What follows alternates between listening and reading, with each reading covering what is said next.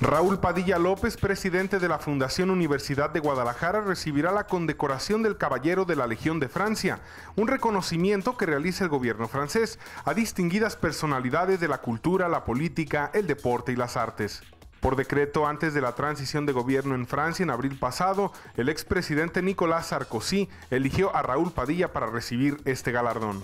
Sí, a nombre de, mi estado de Jalisco y de lo que de alguna manera hemos podido eh, hacer o contribuir para la cultura, eh, creo que es bien recibida. Yo más bien lo recibo efectivamente eh, pues a nombre de esta, de esta labor y de los colectivos que me han acompañado durante varios años.